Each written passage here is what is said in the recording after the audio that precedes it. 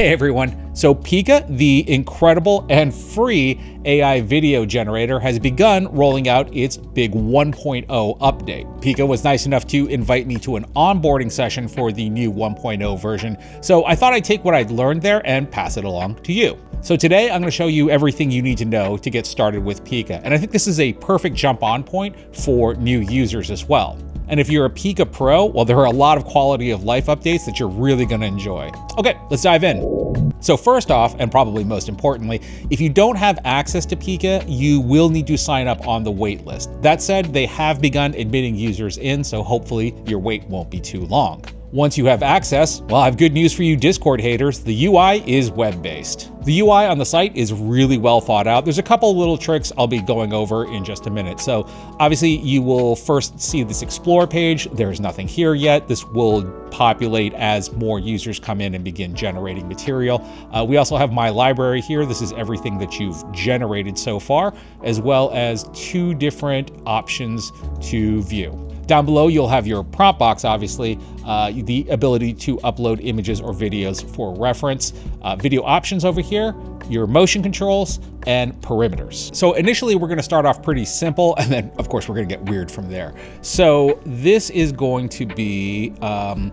cinematic, a leather chair in a study next to a fireplace, warm feeling, comfortable, and calm. Uh, so let's generate that. And within a few moments, I'd say less than 30 seconds, we have this, which looks pretty solid. Uh, from here, we have a number of different options, including retrying the prompt, reprompting it as well, the edit, which we're going to definitely get to in a moment, and then uh, an extension, the adding four seconds. So let's give that a shot really quickly. As you can see, by hitting that extend, our prompt returns to the prompt box, and then we have an attachment of our generated video. Uh, from here, we can actually continue to play around. Say we can now explore motion control, where we have panning controls, tilting controls, rotation controls, and zooming controls, along with a slider for strength of motion. Uh, I'm just gonna give it a zoom out here, um, and then fire it off. And with that, we now have a seven second shot with two different camera moves on it. So one thing that I think that everyone is going to absolutely love is this retry button, which is just re-roll, but the way that the site is now set up, it's just so much easier in terms of organization and keeping track of your shots.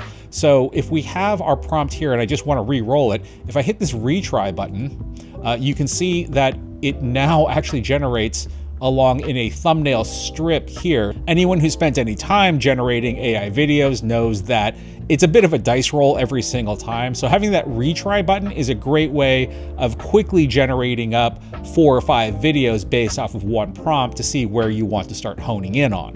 I mean, almost to prove my point, we have one generation that's like the study that's on fire. Uh, we did end up with this one, which I kind of like. I like the look of that chair. Obviously, one of the more groundbreaking things in Pika 1.0 is the fact that we have video in painting. So taking a quick look at that, uh, if you come up to hit the edit button here, once again, our prompt with our attached video ends up down here. So we can just hit the modify region button, which then comes up with a pop-up. We then select an area within our video and we can prompt. So uh, here we'll prompt a man reading a book. And within a few moments, yeah, that is not bad. Now, I did want to note that you definitely do want to make sure that you, you know, crop the entire area with that in painting tool, because uh, if you don't, you will end up with, you know, some weird results. For example, when I didn't put the in painting box all the way down to the floor, we ended up with Lieutenant Dan here. That's a deep cut for you Forrest Gump fans. Prompting is relatively friendly. Pika has always been pretty good about that. Um, you could use fairly detailed prompts like establishing shot, cinematic, uh, Viking Warrior, I did 4K HD, high resolution and remastered, or you can use more naturalistic language as I did in this Fallout inspired shot uh, with uh, cinematic, wearing blue jumpsuit with a German Shepherd in a dystopian wasteland. Look, I know that there's like some weird mutant thing that's happening back here, but overall, I just love this shot. I mean, look at that good boy. Look at that good boy. We do have controls here for aspect ratio, obviously, and then our frames per second. Um, I just generally leave that at 24 frames a second, but strength of motion can play a pretty large part. Uh, it's one thing I've always really appreciated about Pika is the fact that it really swings for the fences when it does motion. So cranking up the motion for our Viking gives us this shot, which is pretty awesome. Whereas re-rolling our Viking with a lower motion scale gives us this, which if you run them back to back, looks like a pretty epic Viking rap battle. If you need some tips on prompting, you can check out a free PDF that I put together on prompting in Pika. This was for the last version, but all of the advice pretty much still stands. Included in the PDF is a whole list of called shots that are known to work within Pika. It also includes a template on negative prompting, which we're going to get to in just a minute. Uh, the link is down below. Again, it is totally free, though if you'd like to leave a donation, it is always highly appreciated. In terms of Pika 1.0's model improvement, it's pretty remarkable, especially when you compare it to Pika at launch. So these were two shots that were generated very early in with Pika. I believe these were generated by a user named Sosa. Taking that same prompt and generating it in the 1.0 model gives us this, which, yeah, that's a pretty remarkable improvement. Another place that Pika really shines is using anime models. So taking that exact same prompt that we saw just adding anime to the front of it, we get this. A few more examples here. Yeah, it looks really great. We are going to move over to image prompting in just a minute, but two quick, fairly important things, and that's on guidance scale and negative prompting. Both can be found under the Parameters tab.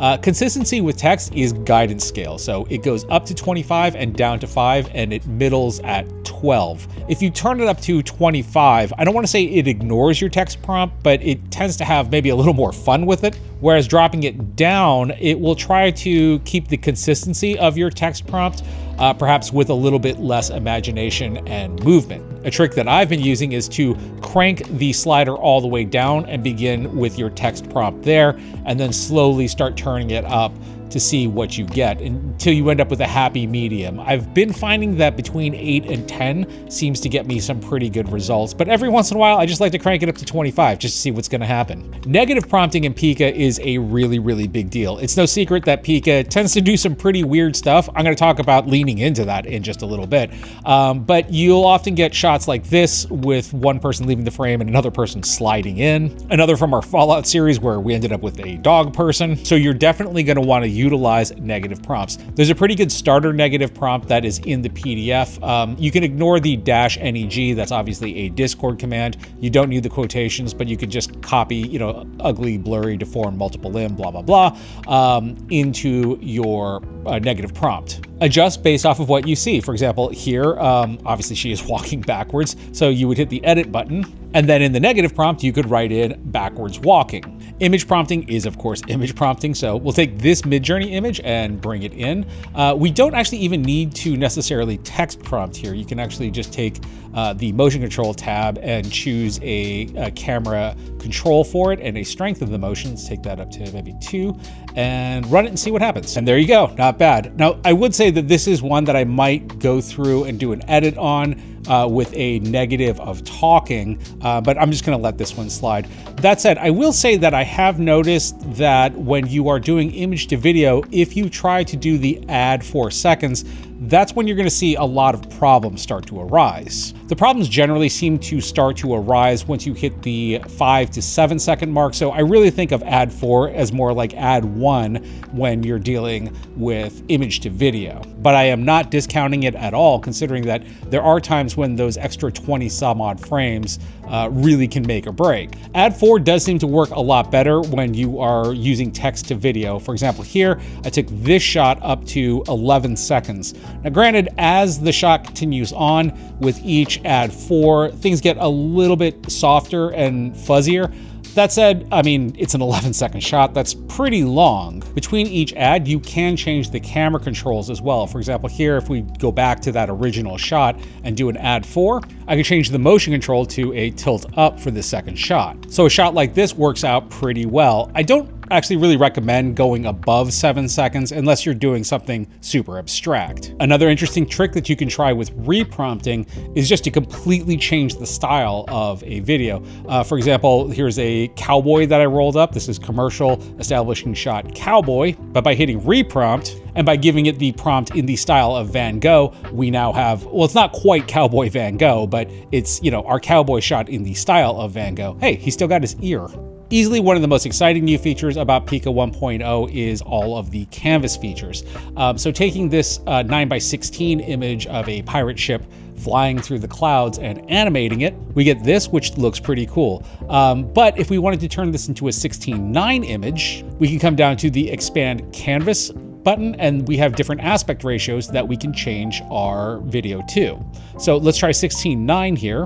And sure enough, we now have our pirate ship flying on a cloud of dreams. Um, you can continue to do so as well. So we could take our video here, once again, run an expand canvas with the 1.1, uh, place our pirate ship wherever we want, and run the whole thing all over again. Blaine Brown had a pretty cool example of this using video. So obviously the bottom source is actual source video, and then the canvas has been expanded to showcase the rest of the sky and the beach. Here's a Addams Family-esque uh, example from Stylez Morales. Yeah, I mean, it really clearly shows how uh, creative you can be with this new feature. Rolling back to video in painting because I think it's super cool, but I did want to go over a couple of limitations with it.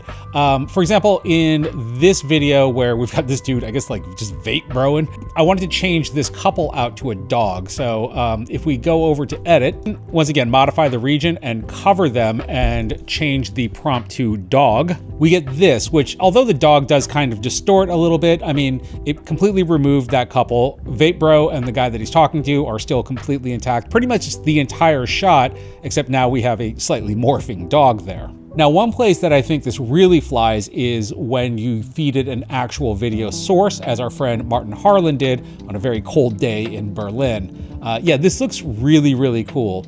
There is a limitation of three seconds per shot, but I do think that Martin shows that with a little creativity, that doesn't really matter. So there you go. I know this was a lot of information, but I do think it's more than enough to get you started. That said, if you have any questions at all, please leave them below in the comments. I'll definitely be circling back to Pika. You know, 1.0 is only a couple of days old, and I feel like we've only scratched the surface in terms of what this model can do. So if you found this video helpful, please do consider hitting the like and subscribe button. I thank you for watching. My name is Tim.